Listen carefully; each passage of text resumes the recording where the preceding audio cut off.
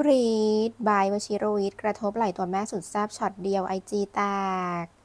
ก่อนหน้านี้ทำเอาโซเชียลแทบแตกเมื่อสองซุปตาดังระดับประเทศอย่างไบร์ทวชิรวิชญ์ชีวอารี